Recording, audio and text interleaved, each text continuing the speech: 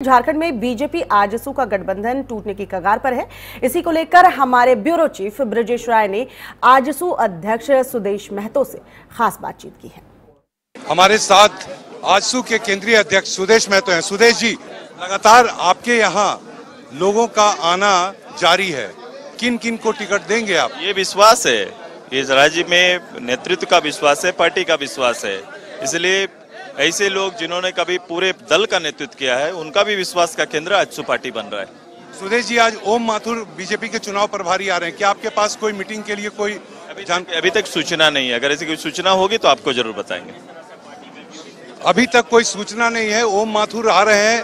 रांची और बीजेपी चुनाव के रणनीति को तैयार करेंगे लेकिन आँसू के साथ गठबंधन को लेकर अभी तक फ़िलहाल कोई सूचना आसू के केंद्रीय अध्यक्ष को नहीं है। देखना दिलचस्प होगा कि बीजेपी आजसू का यह गठबंधन आखिर कहाँ तक चल पाता है या टूट जाता है। कैमरा पर्सन सूर्य प्रसाद के साथ Brajesh Rai, R nine TV, Ranchi.